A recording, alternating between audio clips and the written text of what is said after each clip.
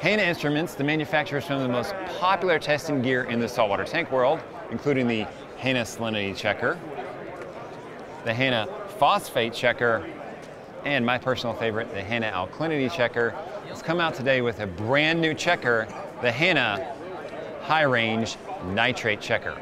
Range on this is from 0 to 75 parts per million. So this is going to hit nearly every saltwater aquarium hobbyist out there. And here's the big kicker on this thing. One reagent packet is all it takes to run this test. So for those of you that have the phosphate checker, same thing. Run, that's all you need to run the high range Hanna nitrate checker. Super simple, super easy. Now, those of you that have the low range checker, now there's a high range checker. You may be thinking, what the heck? Well, there's a big difference here, so let me walk you through this.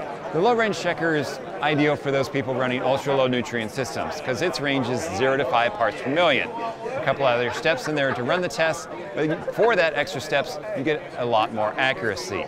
The high range checker has a 0 to 75 parts per million range with a 2 parts per million accuracy. So how do you break it down? How do you make the decision? If you're looking for a lot of accuracy and you're looking for that lower range, the Hanna low range checker is the one for you. If you're looking for quick spot check, you have a higher range, higher nutrient system, then a high range nitrate checker is there for you.